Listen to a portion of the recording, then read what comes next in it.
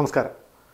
ജലഗതാഗത വകുപ്പിന്റെ ആദ്യ സംരംഭമായ വാട്ടർ ടാക്സിയും കാറ്റ മറൈൻ ബോട്ട് സർവീസും മുഖ്യമന്ത്രി പിണറായി വിജയൻ ഉദ്ഘാടനം ചെയ്തു. ആലപ്പുഴ ബോട്ട് ജെട്ടിക്ക് സമീപത്ത് നടന്ന ചടങ്ങിൽ ഓൺലൈനായാണ് മുഖ്യമന്ത്രി ഉദ്ഘാടന കർമ്മം നിർവഹിച്ചത്. റോഡുകളിലെ ഗതാഗത കുരുക്കും മലിനീകരണവും ജലഗതാഗതത്തിന്റെ സാധ്യതകൾ വർദ്ധിപ്പിക്കുന്നുവെന്ന് മുഖ്യമന്ത്രി. റോഡ് ഗതാഗതത്തിലെ ടാക്സി സംവിധാനത്തിന് സമാനമായി ജലഗതാഗത മേഖലയിൽ ആരംഭിക്കുന്ന പുതിയ സംരംഭമാണ് വാട്ടർ ടാക്സി. ജലഗതാഗത മേഖലയിലേക്ക് കൂടുതൽ ആളുകളെ ആകർഷിക്കുന്നതിനായി ചെലവ് കുറഞ്ഞതും ഏറ്റവും സുരക്ഷിതവും അത്യാധുനിക സൗകര്യങ്ങളോട് കൂടിയതുമാണ് പുതുതായി നീറ്റിലിറക്കുന്ന കാറ്റാമറൈൻ ബോട്ടുകളെന്നും മുഖ്യമന്ത്രി പറഞ്ഞു. പൊതുജനങ്ങൾക്കും വിനോദസഞ്ചാരികൾക്കും ഒരുപോലെ ഉപയോഗപ്പെടുത്താൻ കഴിയുന്ന ഈ രണ്ട് സർവീസുകളും ജലയാനങ്ങളുടെ നാടായ ആലപ്പുഴയിൽ ആരംഭിക്കുന്നതിന് ഒരു പ്രത്യേക ഔചിത്യ ഭംഗിയുണ്ട്.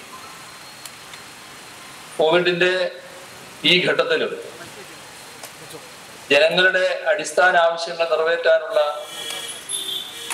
സർക്കാരിന്റെ കരുതലിന്റെ ഭാഗമായി വേണം ഈ നടപടിയെ കാണാൻ. മൂന്ന് കോടി പതിനാല് ലക്ഷം രൂപ ചെലവിട്ടാണ് നാല് വാട്ടർ ടാക്സികൾ പുറത്തിറക്കുന്നത്.